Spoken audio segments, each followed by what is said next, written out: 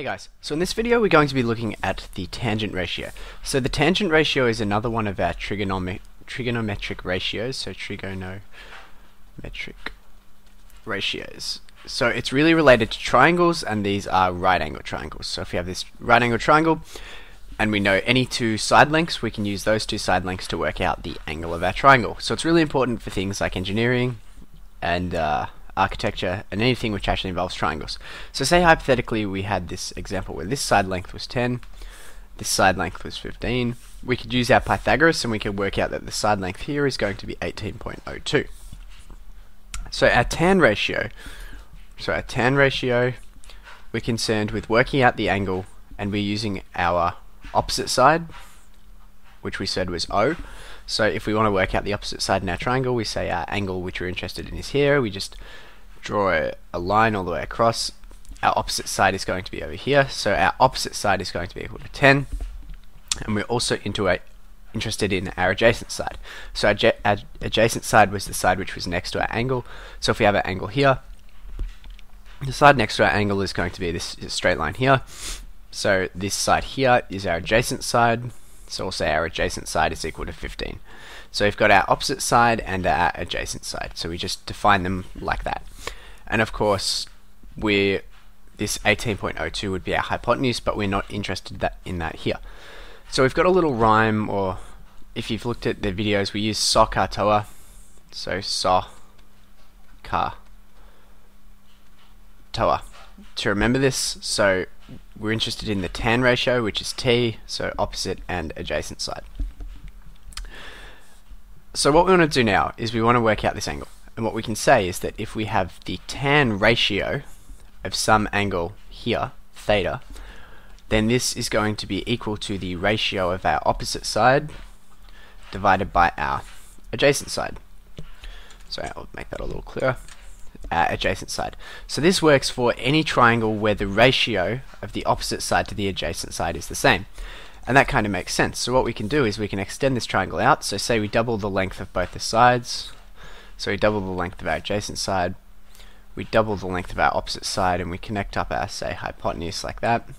You can see all I've done is double the length. So the adjacent side is now going to be 30 in length. And the opposite side is now going to be 20 in length, just because I've doubled the lengths. But what you can see is because we've doubled the lengths, that angle is going to stay the same. So the ratio stays the same, so opposite over adjacent. If we have 10 divided by 15, or if we have 20 divided by 30, the angle is always going to be the same just because I'm not changing this ratio. So providing that that is constant, this angle here is going to be constant. So if we want to have a look at this, and we want to work out this angle just to see if this ratio actually is constant if we scale it by a, a factor then we can say okay our tan theta is initially our opposite divided by our adjacent and our opposite initially was 10 degrees or 10 and our adjacent was initially 15 but now we have this equation here so we want to kind of solve out for this angle theta and that's probably new to us but what we can do is if we have our tan theta, if we take the arctan or the inverse tan of that, then these two tans are going to cancel out and we'll be left with the angle theta. So we take the arctan or the inverse tan on both sides, so tan negative 1, 10 divided by 15. So we can say our angle theta, oops, Uh, angle theta is going to be equal to the arctan or tan negative 1 of 10 divided by 15. So we can plug that in like that, or we can say angle theta is equal to the inverse tan of 0.666. And if we work that out, we'll find that this angle theta here, so the angle that corresponds to up here, is equal to 33.69 degrees. So I can say that this here is equal to 33.69 degrees if we work out the angle using 10 and 15 as our side length. So our opposite divided by adjacent, opposite equal to 10, adjacent equal to 15. But what we want to check is that this angle doesn't change regardless of whether we use um, sides which have the same ratio. So what we'll do now is we'll plug it in with uh, tan theta. So our ratio, we're going to keep it constant, but we're going to change the side lengths. So 20 divided by 30. So then we can say, well, we have the inverse tan, tan theta, equals the inverse tan of 20 divided by 30. So we can say that, oops, we can say that the angle theta, remember these two tans will cancel out, the angle theta is equal to the inverse tan of 20 divided by 30, which is going to come out to be 0.666 like we saw before.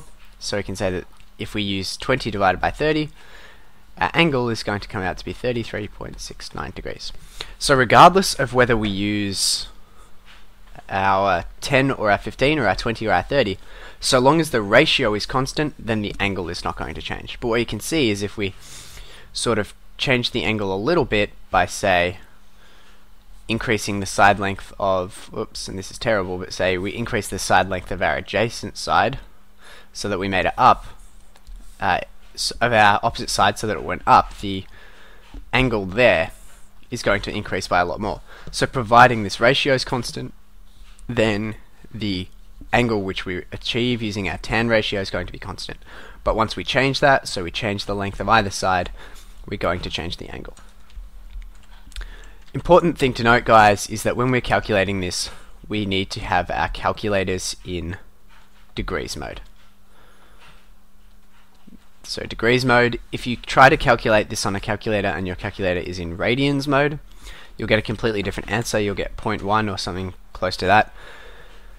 But just make sure it's in degrees mode or you're going to come out with a completely different answer. So that is how we calculate the tan ratio. I'll put out some questions and videos on those for you guys. Thanks.